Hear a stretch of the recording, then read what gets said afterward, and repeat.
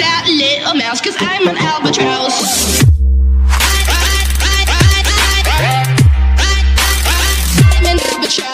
Good evening students आज मैं आप लोगों को एक ऐसा चैप्टर समझाने जा रहा हूँ जो मोस्टली लोगों को कभी न कभी प्रॉब्लमेटिक सिचुएशन देता है। बट ये चैप्टर आप लोगों के लिए काफ़ी फ़ायदेमंद है और मैं बहुत ही ईजी वे में इसको समझाऊँगा। तो जैसा कि चैप्टर है और चैप्टर का नाम मैं आपको बोलूँ तो ये चैप्टर है केमिकल चैप्टर है chemical reaction and equation chemical reaction और इक्वेशन कहने का ये मतलब है कि किसी भी चीज़ की रिएक्शन और उसकी इक्वेशन से मतलब होता है केमिकल रिएक्शन और इक्वेशन अब बात आती है कि केमिकल रिएक्शन क्या चीज़ तो भाई मेरे हिसाब से ये एक प्रोसेस है जिसमें कि फॉर्म होता है एक new substance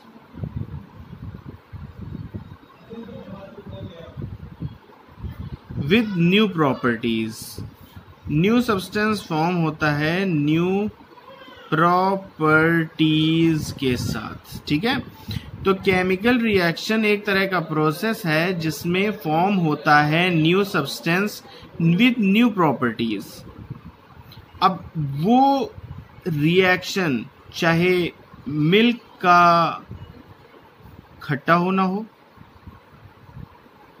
ठीक, आप उसको लेफ़्ट ओवर कर दो समर में और मिल्क थोड़े दिन बाद, देर बाद खट्टा हो जाएगा। चाहे आयरन पे रेस्टिंग का होना हो, चाहे किसी भी चीज़, जैसे कि आप फ्रूट्स का ले लो या किसी भी चीज़ का फर्मेंटेशन होना हो।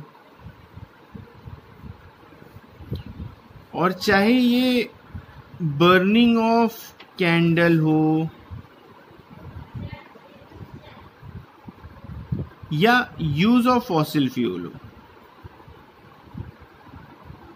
Fossil fuel.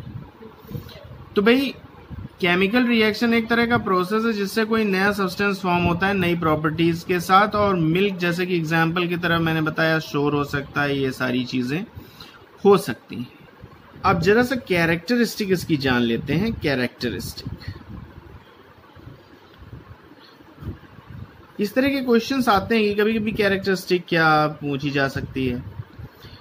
तो भाई जो केमिकल चेंज होता है, इसमें जो नया सब्सटेंस फॉर्म होता है, इनकी प्रॉपर्टीज़ डिफरेंट होती है। मींस जो न्यू सब्सटेंस होगा,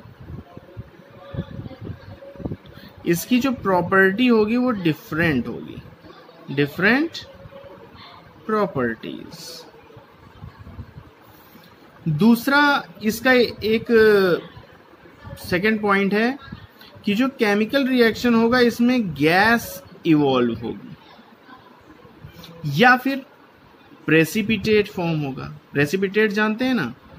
कोई भी चीज़ जो इंसॉल्यूबल हो, वो फॉर्म्ड होगा। तीसरी इंपॉर्टेंट चीज़ इसमें न्यू सब्सटेंस डिफरेंट प्रॉपर्टीज़ के साथ फॉर्म होते हैं। गैस इवॉल्व होती है प्रेसिपिटेट फॉर्म होते हैं। कलर फ़िज़िकल प्रॉप स्टेट और टेम्परेचर केमिकल बॉन्ड इसमें ब्रेक होते हैं। कोई भी नया सब्सटेंस नहीं फॉर्म होता नया आइटम नहीं फॉर्म होगा, लेकिन केवल रीअरेंजमेंट होगा किसी भी चीज़ का। मतलब किसी भी चीज़ का क्या? आपके जो एटम्स होंगे, उनका रीअरेंजमेंट केवल हो पाता है और सबसे लास्ट पॉइंट है, ये जो रिएक्शन होती हैं, ये एक प्रिंसिपल फॉलो करते हैं, जिसको हम लोग नाम देते हैं पीओएसी मतलब पीओएसी का मतलब हो गया प्रिंसिपल ऑफ़ एटॉमिक कंजर्वेशन क्योंकि इसमें एटम्स ना तो फॉर्म्ड होता है, ना डिस्ट्रॉयड होता है। केवल उसकी बॉन्डिंग पैटर्न्स में चेंज आता है। तो ये था आपका केमिकल रिएक्शंस की डेफिनेशन और क्या क्या कैरेक्टरिस्टिक होती हैं। अब जरा सा आगे आते हैं कि केमिकल इक्वेशंस क्या होती हैं। तो भाई केमिकल इक्वेशन केमिकल इक्वेशन एक ऐसी तरह की चीज़ है कि जिसमें हम किसी भी रिएक्शन को सिंबलाइज्ड करते हैं या सिंबल से रिप्रेजेंट करते हैं। It means a method of representing a chemical reaction by the symbols of elements and formula of compounds which are involve in it so it is very important to know कि chemical equation in a shorthand method कैसे represent होती है? तो chemical equation representation है। Representation है और इसमें दो चीज़ें इन्वॉल्व होती एक तो आपका एल एच एस साइड एक आपका आर एच एस साइड देखो एल एच एस साइड जो होता है, यहाँ पर आपको मिलेगा क्या? रिएक्टेंट ठीक है? आपको यहाँ पे मिलेगा रिएक्टेंट और जो आपका आर एच एस साइड है, यहाँ पर आपको मिलेगा प्रोडक्ट ठीक है? दूसरी बात, यहाँ पर सब्सटेंस फॉर्म होते हैं।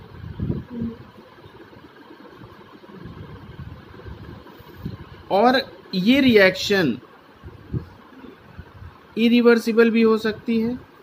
और अगर रिवर्सिबल कही जाएगी तो आप रिवर्सिबल में ऐसा साइन लगाओगे। This is called as reversible and this is called as irreversible ठीक? इतनी बात क्लियर चलिए आगे बढ़ते हैं। ओके okay, अब जस्ट एज एग्ज़ाम्पल कि आपके पास दो चीज़ें। अब वो दो चीज़ें क्या हैं? आपके पास लाइक एज एग्ज़ाम्पल आपके पास एक ए प्रोडक्ट है, एक बी है नॉट अ प्रोडक्ट रिएक्टेंट उसने बनाया सी प्लस डी तो ये आपका हो गया रिएक्टेंट और ये आपका हो गया प्रोडक्ट ठीक, इतनी बात आपको क्लियर हो रही है? तो एक तरफ़ हो गया रिएक्टेंट और एक तरफ़ हो गया प्रोडक्ट एग्ज़ाम्पल के तौर पे, अगर हम जिंक को H2SO4 के साथ रिएक्ट कराते हैं तो मेरे पास आएगा ZnSO4 plus H2 gas evolve हो जाएगी। ये आपका प्रोडक्ट है और ये आपका रिएक्टेंट क्लियर अगर गैस इवॉल्व होगी तो उसमें साइन ऐसे लगेगा। हीट अगर होगी तो हीट देने में आपको साइन ऐसे लगेगा।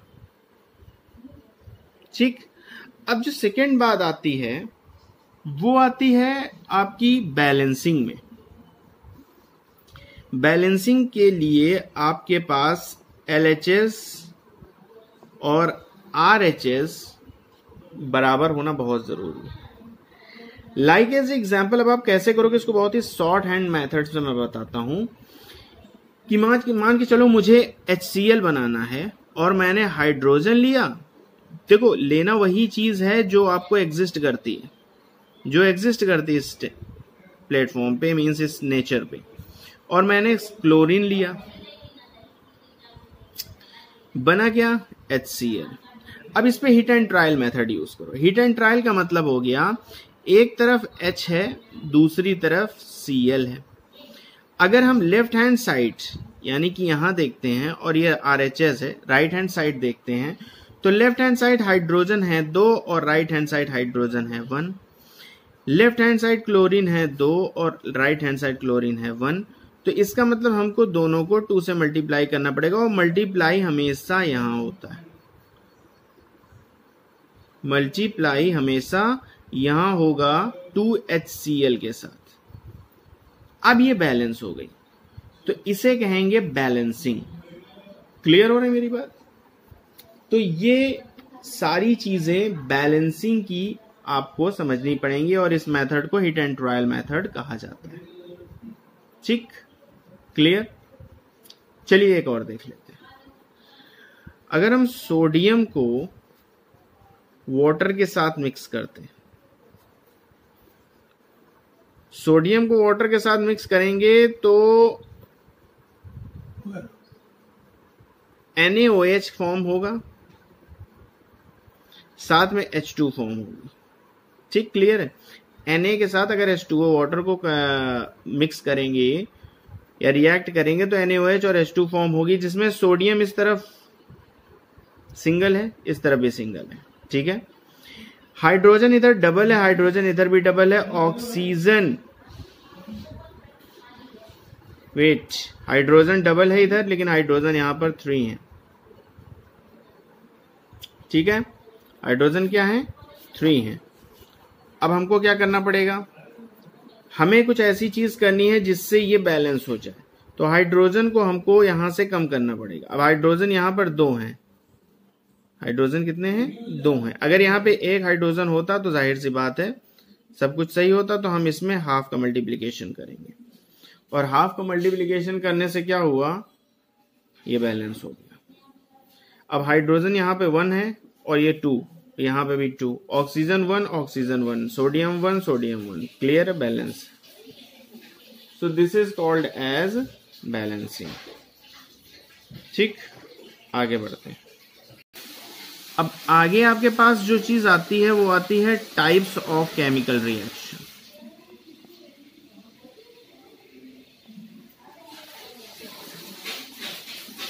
types of chemical reaction और टाइप्स ऑफ़ केमिकल रिएक्शन में अगर मैं देखता हूँ तो सबसे पहली जो रिएक्शन आएगी, वो आपकी आती है combination combination reaction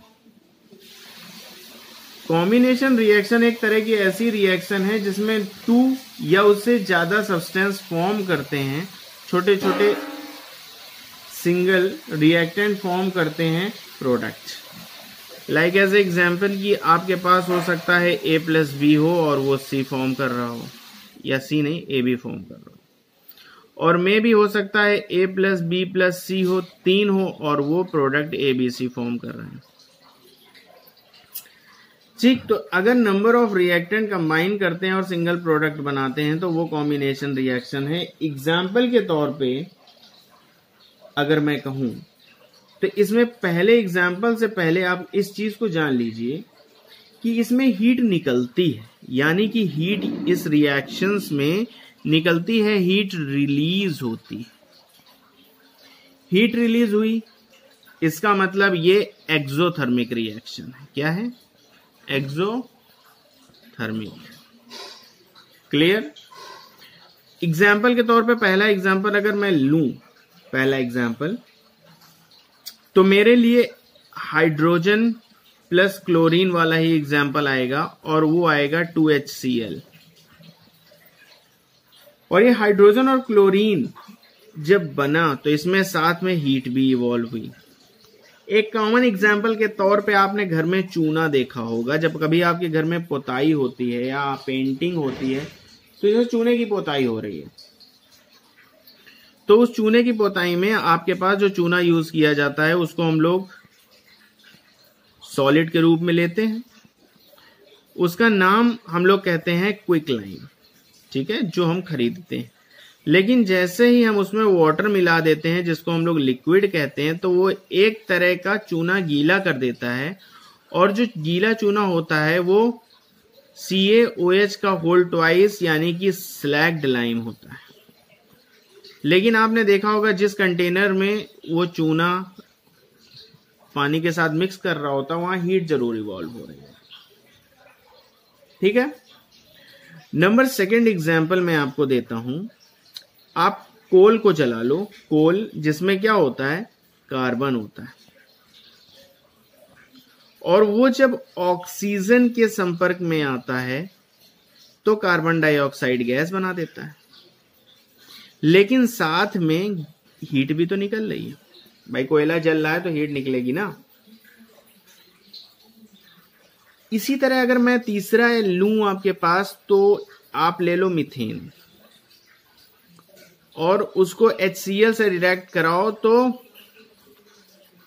NH four C L बना देगा आपका।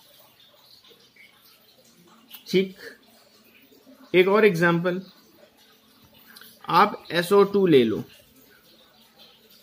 SO2 ले लो और उसको ऑक्सीजन के साथ मिक्स करो अब आप ऑक्सीजन के साथ मिक्स कराओगे तो SO3 फॉर्म करेगा। SO3 फॉर्म करेगा, चलो बैलेंस कर लेते हैं 2SO2 और 2SO3 तो SO3 फॉर्म करेगा। यानी कि जो सल्फ़र डाइऑक्साइड है, वो ऑक्सीजन के साथ कंबाइंड होके सल्फ़र ट्राइऑक्साइड बनाता ठीक और यहाँ पे अमोनिया कंबाइंड किया था आपका हाइड्रोक्लोरिक एसिड के साथ। तो जो प्रोडक्ट बनाया NH4Cl अमोनियम क्लोराइड ये भी एक कॉम्बिनेशन रिएक्शन है। प्लस हीट इसमें इवॉल्व हो रही है। अब जरा हीट का इवोल्यूशन देख लो। मैं आपको बताना चाहूँगा कि जैसे एक्सोथर्मिक रिएक्शन होती है एक्सोथर्मिक तो अगर मैं एक्सोथर्मिक रिएक्शन के बारे में बोलूँ तो जिसमें हीट निकल रही हो, जैसे मैंने कार्बन और ऑक्सीजन का आपको बताया तो हीट निकली, वो हो गया एक्सोथर्मिक लेकिन अगर मैं दूसरे रिएक्शन पे जाऊँ, जो कि आपका डीकम्पोजिशन रिएक्शन है डीकम्पोजिशन रिएक्शन एक तरह का रिएक्शन जिसमें एनर्जी निकलती नहीं है, एनर्जी हमें देनी पड़ती। और एनर्जी हम देंगे कहाँ से? हीट करके। यानी कि इसमें सारा का सारा एलिमेंट हीट देना पड़ता है, इसलिए इसको हम लोग कहते हैं एंडोथर्मिक रिएक्शन। बात समझ में आ रही है? एक और नाम से इसको अगर हम देखें तो हम इसको बुला सकते हैं डिकम्पोजिशन रिएक्शन। और जो पहले एक्सोथर्मिक थी, उसको हम कंबस्टन रिएक्शन कह सकते ठीक है? अब जरा इक्वेशन की बात करें तो एक पहला एग्जांपल मैं आपको दे रहा हूँ। आप कैल्शियम कार्बोनेट यानी कि लाइम स्टोन का एक फॉर्मूला देखो। लाइम स्टोन लाइम स्टोन जब टूटता है हीट दी गई उसे हीट दी गई तो ये बनाता है सी ए ओ वही क्विक लाइम याद हुआ? लाइम स्टोन आपको मिल जाएगा, पत्थरों पहाड़ों में उसी से बनता है। और प्लस निकलेगी इसमें कार्बन डाइऑक्साइड तो हीट यहाँ पे क्या हो रही है? इवॉल्व हो रही है। दूसरा एग्ज़ाम्पल आप देख लो। तो PbNO3 का मैं देख लेता हूँ। PbNO3 यानी कि लेड नाइट्रेट जिसको हम नाम क्या देते हैं? Lead nitrate. अब मैं अगर इसको आगे बढ़ाऊं, लिड नाइट्रेट का रिएक्शन कराता हूँ, एक स्ट्रॉन्ग हीटिक डिकम्पोजेस कराता हूँ तो इससे जो भी चीज़ निकलेगी, एक तो निकलेगा PbO lead oxide plus NO2 nitrogen dioxide जो कि एक ब्राउन गैस है। जिसको ब्राउन वेपर कहते हैं रेडिस ब्राउन होती है प्लस ऑक्सीजन जो कि कलरलेस गैस है, वो निकलेगी। ठीक है? अब बैलेंसिंग के तौर पे रख लूँ तो ये बैलेंस इसको कर लो, कोई दिक्कत नहीं। थर्ड एग्ज़ाम्पल के तौर पे मैं लूँ तो F E S O four का ले लो आप। फेरस सल्फेट ये जब टूटेगा हीट दी जाएगी तो बनाएगा F E two O three ferric oxide plus sulphur oxide sulphur dioxide बनाएगा और सल्फ़र ट्राई ऑक्साइड निकालेगा। ये तीन चीज़ें निकालेगा।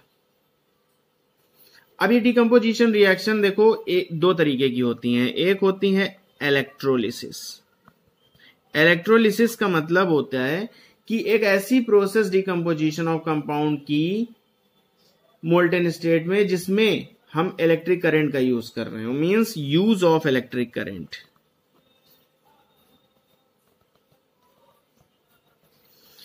अब यूज़ ऑफ़ इलेक्ट्रिक करंट तो है, लेकिन इलेक्ट्रोलिसिस केवल हो सकती है, पहली चीज़ है रिक्वायरमेंट कि वो जो भी चीज़ पे हो रही हो, वो मोल्टेन स्टेट पे हो। दूसरा एक्वस हो। एक्वस का मतलब भी गीला ही होता है। तो अगर उस तौर पे मैं देखूँ कि एक्वस हो और उसमें ऐसी ऐसी चीज़ें हो रही हो तो आप एज एग्ज़ाम्पल वाटर की हाइड्रोलिसिस देख लो तो वाटर को अगर मैं इलेक्ट्रिक करंट देता हूँ तो वाटर हाइड्रोजन और ऑक्सीजन में टूटेगा। दूसरे तौर पे आप A L two O three को देखो एल्यूमिनियम ऑक्साइड इसको इलेक्ट्रोलिसिस कराओ। इलेक्ट्रोलिसिस कराओ।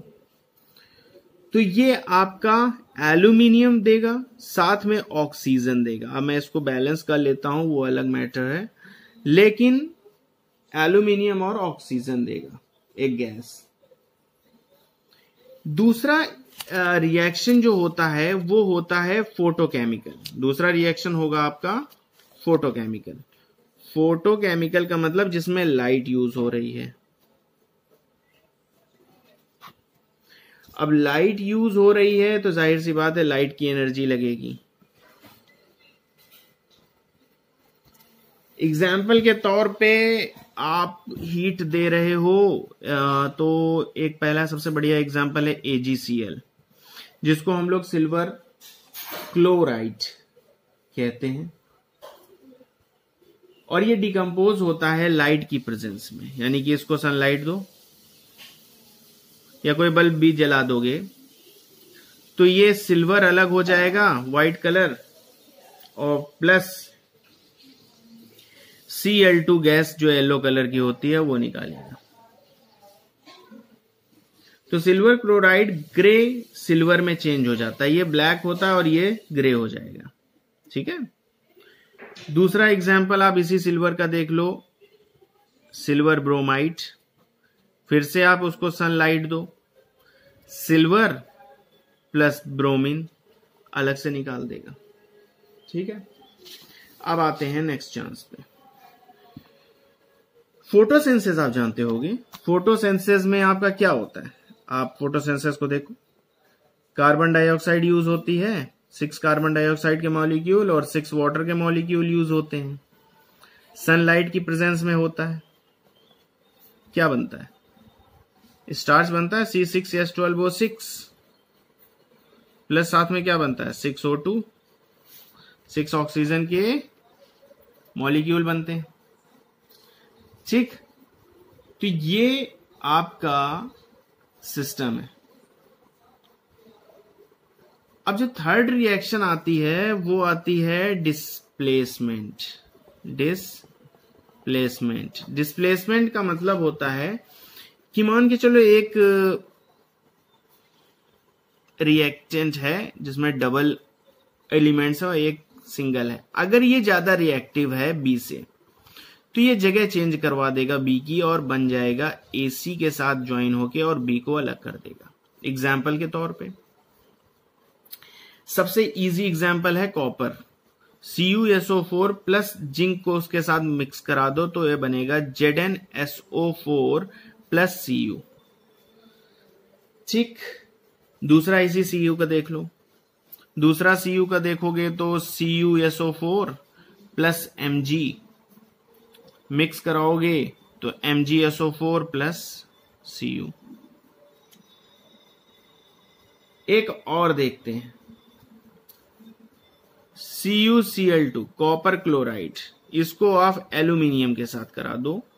तो ये आपको बनाएगा A L C L three plus C U अब ये रिएक्टिविटी सीरीज़ पे डिपेंड करता है। जैसे पोटेशियम उससे सबसे सबसे ज़्यादा रिएक्टिव है पोटेशियम फिर उसके बाद सोडियम फिर कैल्शियम फिर आएगा आपका मैग्नीशियम फिर आएगा एल्यूमिनियम फिर आएगा जिंक फिर आएगा एफ़ ई फिर आएगा एच फिर आएगा सी यू फिर आएगा ए जी फिर आएगा ए यू मतलब गोल्ड सबसे कम रिएक्टिव है। मतलब रिएक्टिविटी सीरीज़ अगर बन रही है तो इधर की तरफ़ जा रही है बढ़ते हुए। अब अगर कॉपर से जिंक का कराओगे तो जिंक ज़्यादा रिएक्टिव है और कॉपर कम रिएक्टिव है तो जगह चेंज हो जाएगी। या हाइड्रोजन का भी करा दोगे ना कॉपर से तब भी जगह चेंज हो ही जाएगी। तो ये कुछ ऐसी चीज़ें हैं जिसको आप समझना चाहोगे तो समझ में आएगी कि आप जगह चेंज करवा सकते हो। अपने से ज़्यादा रिएक्टिव अपने से ज़्यादा रिएक्टिव चीज़ को यूज़ करके। ठीक? अब बात आएगी double displacement double displacement double displacement का सीधा सीधा फंडा। दो एलिमेंट हैं और दोनों एलिमेंट अपनी जगह चेंज करेंगे। एक बनाएगा ए सी ए सी के साथ चला जाएगा और बी डी के साथ चला जाएगा। एग्ज़ाम्पल के तौर पे मैं देखूँ तो N A two S O four और plus B A C L two तो ये बनेगा B A S O four plus two N A C L एक तो आपका ये हो गया। दूसरा एग्ज़ाम्पल ले लेते हैं। दूसरा एग्ज़ाम्पल अगर हम ले लें तो A G N O three का ले लो। ए जी एन ओ थ्री के साथ आप एन ए सी एल का मिक्सचर कराओ तो ए जी सी एल बन जाएगा मतलब silver chloride plus N A N O three sodium nitrite. Nitrate. Nitrate से कहेंगे। तो इस तरह के रिएक्शंस होते हैं, इसको हम लोग कहते हैं डबल डिस्प्लेसमेंट यानी कि डिस्प्लेस किया डबल आपका नेक्स्ट है ऑक्सीडेशन रिएक्शन देखो ऑक्सीडेशन का मतलब होता है ऑक्सीजन का गेन और हाइड्रोजन का लूज होना. और रिडक्शन का मतलब होता है ऑक्सीजन का लूज होना हाइड्रोजन का ऐड होना. और जब ये दोनों चीज़ें आती हैं तो इसको हम लोग कहते हैं रीडॉक्स रिड मतलब रिडक्शन और ऑक्स मतलब ऑक्सीडेशन जब एक ही में दोनों चीज़ें। अब एजेंट के बारे में जान लो।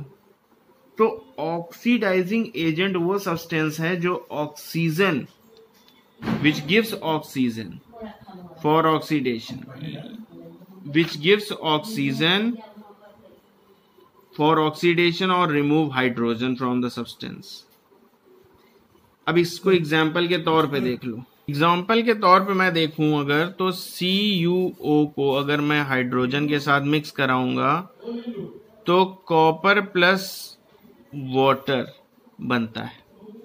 अब यहाँ पे आप ध्यान से देखो, यहाँ से ऑक्सीजन जा चुका है और कॉपर के पास ऑक्सीजन नहीं है। तो यहाँ पे ऑक्सीजन माइनस हुआ। ऑक्सीजन मतलब माइनस हुआ तो ये रिड्यूस हुआ। और ये खुद है ऑक्सीडाइजिंग एजेंट। दूसरा, यहाँ से हाइड्रोजन गेन हुआ है। यहाँ पे ऑक्सीडेशन हुआ है, यानी कि ऑक्सीजन का एडिशन हुआ है तो ये खुद है रिड्यूसिंग एजेंट। ठीक? तो CuO है आपका ऑक्सीडाइजिंग एजेंट और ये है आपका रिड्यूसिंग एजेंट इतनी बात क्लियर दूसरा एग्ज़ाम्पल आप देख लो। मैं आपको दूसरा एग्ज़ाम्पल दिखाता हूँ। MnO2 को अगर हम HCl के साथ मिक्स करेंगे तो ये बनेगा MnCl2 plus Cl2 plus H2O अब यहाँ पे जो HCl है यहाँ पर एच हाइड्रोजन चला गया तो ये खुद हो रहा है। हाइड्रोजन चला गया तो ये खुद में हो रहा है रिड्यूस चला गया तो खुद में रिड्यूस हो रहा और ये क्या हो गया? ऑक्सीडाइजिंग और जो दूसरा है MnO2 उसमें MnCl2 इसमें रिडक्शन हुआ है, इसमें रिमूवल ऑफ़ ऑक्सीजन हुआ और ये खुद क्या हुआ? रिड्यूस ठीक है? तो यहाँ पर MnO2 आपका रिड्यूस हुआ है और वो खुद एक ऑक्सीडाइजिंग एजेंट है और एल ऑक्सीडाइज हुआ है तो ये रिड्यूसिंग एजेंट है। ये कुछ आपके एग्जाम्पल्स थे जो आपको समझाने थे और हालाँकि मुझे ऐसा लगता है कि आप ये सारी चीज़ें सीख गए होगी। अब ये ऑक्सीडेशन और रिडक्शन का जो सबसे बड़ा एक नेचर में खेल होता है, वो ऑक्सीडेशन का है रस्ट लगना, जिसको हम लोग रस्टिंग कहते हैं, और वो रस्ट जिसको हम लोग कोरोजन कहते हैं। भाई ये लगती कैसे? मान लो आयरन है आयरन के साथ ऑक्सीजन मिली, और कुछ वाटर के molecules x H two O मुझे नहीं पता कितने मॉलिक्यूल्स तो एक्स एच टू ओ तो जो फॉर्मूला बनेगा वो F E two O three into x H two O का बनेगा। हाइड्रेट फेरिक ऑक्साइड और इसी को जंग कहते हैं। यहाँ पे ऑक्सीडेशन हो रहा है। ठीक है? अब इससे बचाने के लिए हम क्या करते हैं? पेंटिंग कर देते हैं इसके ऊपर। एक दूसरी चीज़ आती है जिसको हम लोग कहते हैं रेंसिडिटी रेंसिडिटी का मतलब होता है कि ऑक्सीडेशन फ़ूड में हो जाना। उससे फ़ूड खराब हो जाता है। It is also called as aerial oxidation of fats and oils जिससे उसकी टेस्ट और स्मेल पूरी तरह बेकार हो जाती है और वो रैंसिड हो जाता है। इसको बचाने के लिए हम एंटीऑक्सीडेंट्स यूज़ करते हैं। एंटीऑक्सीडेंट्स में जैसे आपके पास ब्यूटिलाइडेटेड हाइड्रोक्सी एनिसोल बी हो गया या ब्यूटिलेटेड हाइड्रोक्सीटोलिन हो गया। इस तरह की चीज़ें हम लोग एंटीऑक्सीडेंट पे यूज़ करते हैं तो वो करती क्या है? वो खुद ऑक्सीडाइज हो जाती हैं बजाय फैट्स और ऑयल्स के होने के। यानी कि अपने ऊपर ले लेती हैं सारा बॉयल। या फिर क्या करते हैं? जैसे आपने चिप्स खाया होगा, अंकल चिप्स तो अंकल चिप्स में आपने मोस्टली देखा होगा कि उसमें गैस भरी होती है। एक्चुअली वो गैस नाइट्रोजन होती है। वो इसलिए क्योंकि अगर ऑक्सीजन गैस बाहर से अगर उसमें भरी होगी तो वो रिएक्ट कर जाएगी और आपके चिप्स हो जाएँगे खराब। इसीलिए गैस निकाल कर उसमें नाइट्रोजन भरी जाती ताकि वो बाहर रिएक्शन ना करें और नाइट्रोजन रिएक्शन नहीं करती। या फिर आप अपने फ़ूड को रेफ्रिजरेटर में रखो या एयर टाइट कंटेनर में रखो तो रेंसिडिटी नहीं होगी। तो ये था आपका ये वाला टॉपिक और जो है, इतना ही है। अच्छा लगा हो तो लाइक शेयर सब्सक्राइब समझिएगा। और ये बहुत ज़्यादा इम्पोर्टेंट टॉपिक है। Thank you